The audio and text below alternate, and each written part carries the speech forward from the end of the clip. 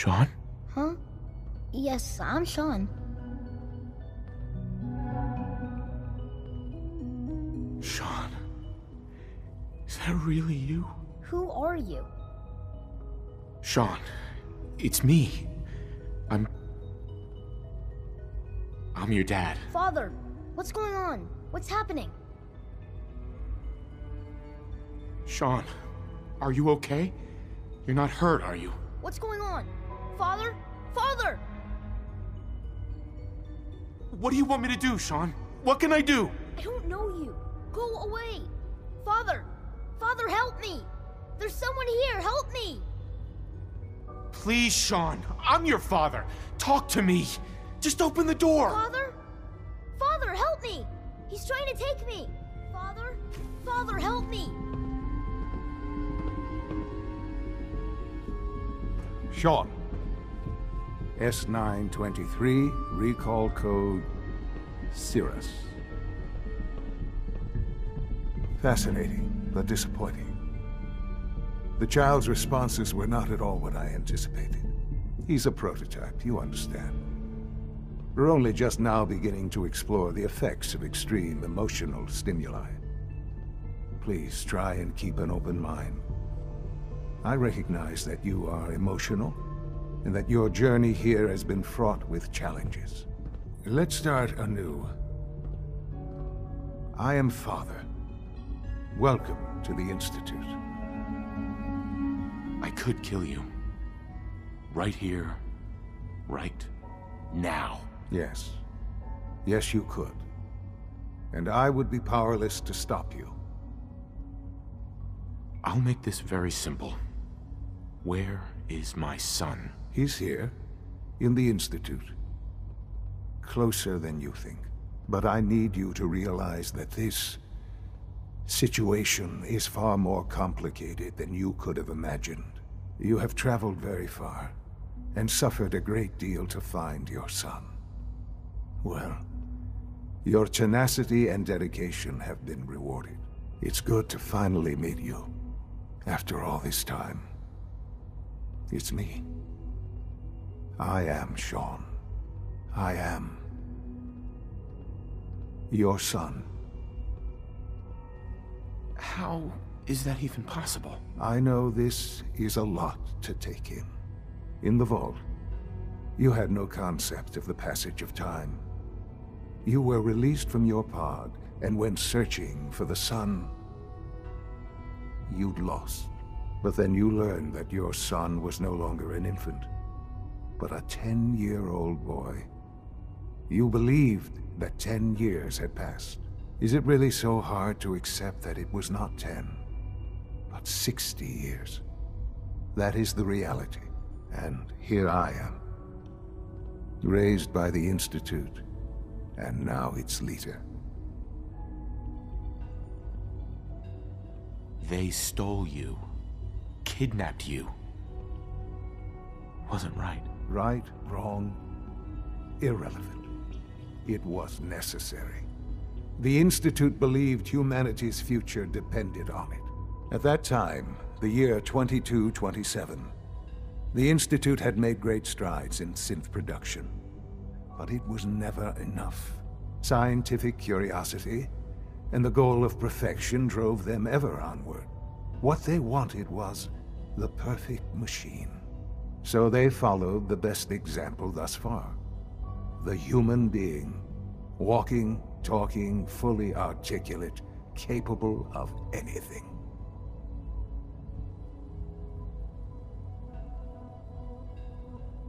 So the weird science experiments needed specimens.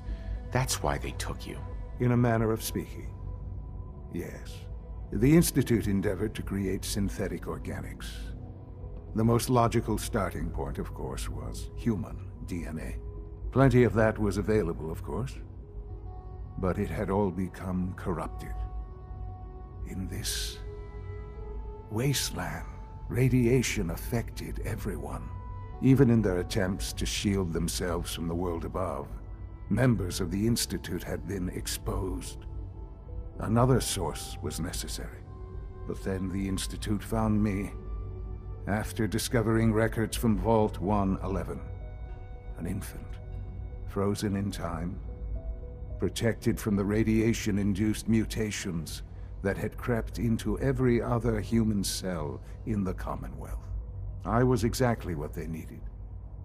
And so it was my DNA that became the basis of the synthetic organics used to create every human-like synth you see today. I am their father. Through science, we are family. The synths, me, and you.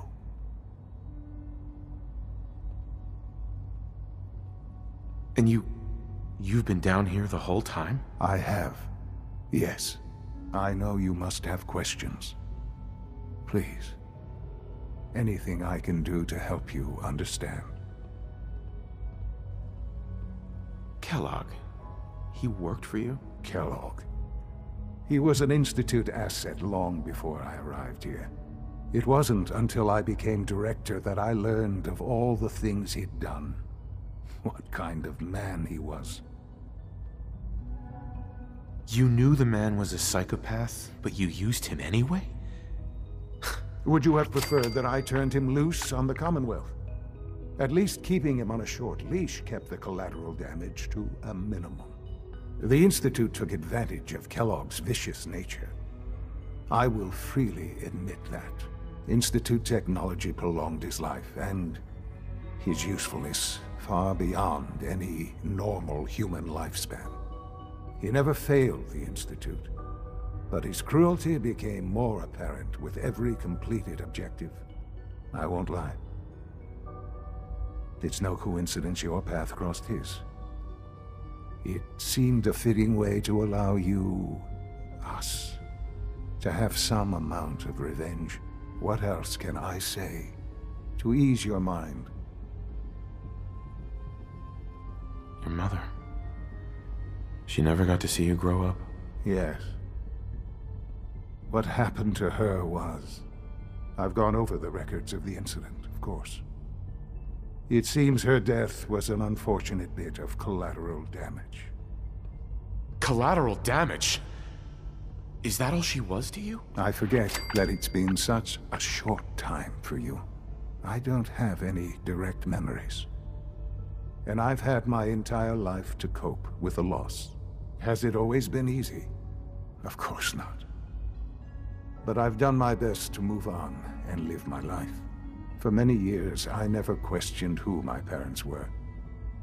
I accepted my situation, and that was that. With old age comes regret. And asking what if more often. But what matters now is that you and I have a chance to begin again. What else can I say to ease your mind? So you're in charge of the Institute?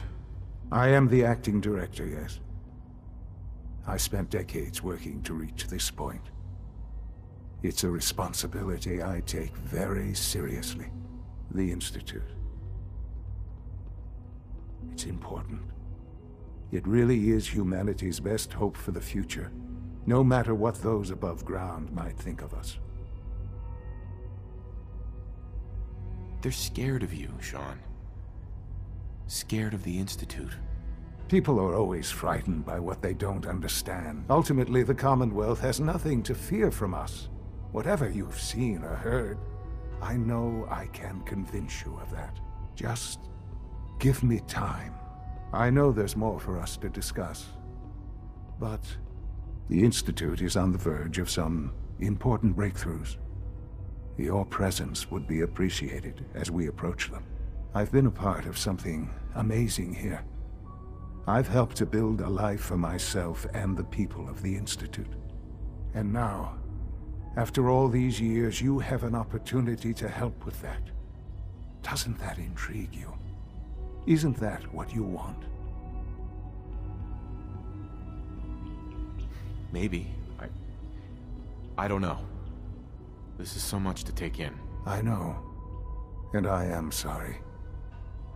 You have been through so much in such a short time.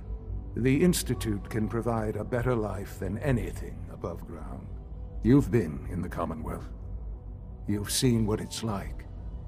I assure you that you are better off with us. I don't know what to do. I realize that. It's why I'm trying to help you. I hope that you can see that rationally. The Institute is the only thing left in the world that is worth being part of. I simply ask that you give the Institute, me, a chance. A chance to show you what I've been telling you. We really do have humanity's best interest at heart. Will you take that chance?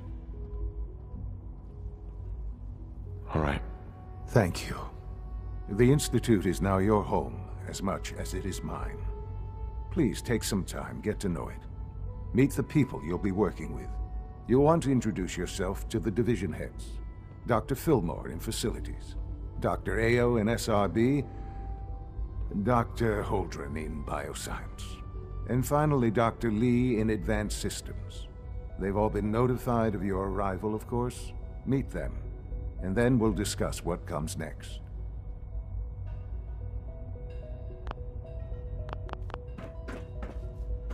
No use. It's an honor to have you here, sir.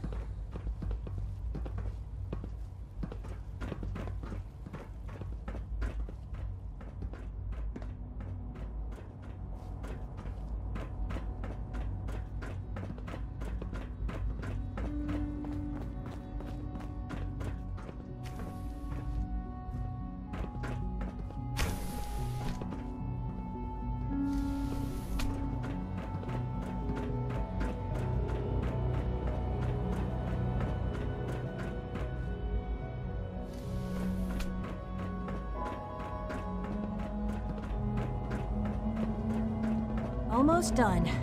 Just need to tighten up this primary drive servo. That's the third primary drive breakdown this month. As far as I'm concerned, the phase out on these older models can't come soon enough. Oh, I don't know. Most of them have I can't lasted long past their truly projected humbling it lifespans. is to stand If in you your ask presence. me, they were built pretty well. I can't argue with that. Even so, I'm ready to see the full Gen 3 roll out. There we go. All set. Unit, you can return to duty.